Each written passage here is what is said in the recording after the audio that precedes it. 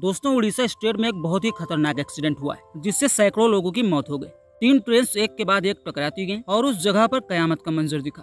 एक मालगाड़ी और दो एक्सप्रेस ट्रेन में भयानक टक्कर हुई। जब तीन ट्रेन टकराई तो मौत का ऐसा तांडव मचा कि देखने वाले सन्न रह गए। आधे किलोमीटर के इलाके में सिर्फ़ ट्रेन के टूटे हुए डिब्बे और मौत का मंजर दिखा।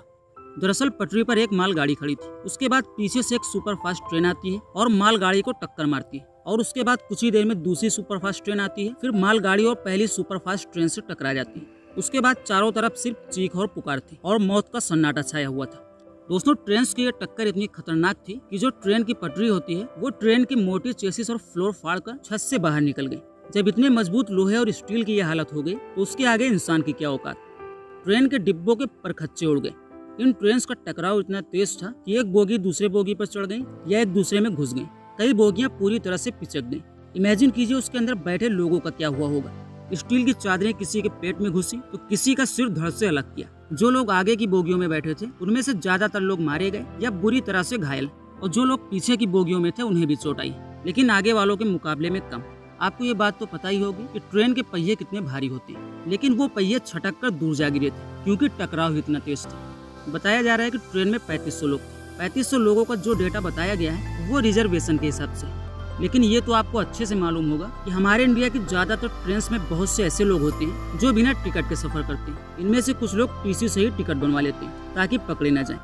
हर ट्रेन में आगे और पीछे दोनों ही तरफ़ दो दो जनरल या चालू वाले डिब्बे होते हैं, जिनमें पचहत्तर पचहत्तर सीट्स होती हैं, लेकिन पैसेंजर्स 200 या उससे ज़्यादा भर जाती हैं। सोचिए सीट पचहत्तर है और एक डिब्बे में 200 से ज़्यादा पैसेंजर्स इन ट्रेन में आगे के चालू के डिब्बों में करीब डेढ़ सौ लोग बैठे थे और इन्हीं लोगों में से ज़्यादातर लोगों की मौत हुई है। अभी तक लगभग 300 लोगों की मौत हो चुकी है और करीब 1000 लोग घायल लेकिन आंकड़ा इससे कहीं ज़्यादा है।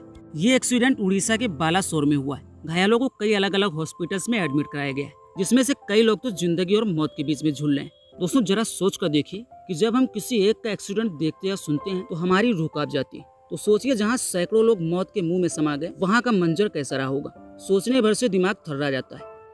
मैं उन आसपास के गाँव वालों का दाद देना चाहूँगा, जिन्होंने एक्सीडेंट के दौरान मदद की। वहाँ के लोग घायलों को खून देने के लिए हॉस्पिटल्स में रात भर लाइन लगाए खड़े थे। अब हम किसी को गलत नहीं ठहराएँगे, क्योंकि ये वक्त किसी को गलत ठहराने का नहीं, बल्कि वक्त है उन लोगों के साथ खड़े होने का। नई ट्रेन लॉन्च करने से अच्छा तो यही है कि पुरानी चलती ट्रेन की ही मरम्मत और पटरियों की रिपेयरिंग कराई जाए। एक ट्रेन हज़ारों लोगों को साथ लेकर चलती है तो ऐसे में हर एक सेफ्टी मेजर्स को ध्यान में रखा जाए और सिस्टम को दुरुस्त किया जाए। ताकि आगे इस तरह के हादसे ना हो। मीडिया वाले हो या नेता हो, ये हफ़्ते भर काव काव करके चुप हो जाएँगे। लेकिन जिन्होंने अपने बाप को खोया है, भाई को खोया है, बेटा खोया है, पति खोया है, या किसी और को खोया है, जिल्लत उनके लिए होगी। उनमें से कई लोग ऐसे भी रहे होंगे, जो परिवार के इकलौते कमाने वाले रहे होंगे। अब उनके परिवारों को कई दिक्कतों का सामना करना होगा। मुआवजे से कुछ दिन तक गुजर बसर हो जाएगा। लेकिन आगे का क्या?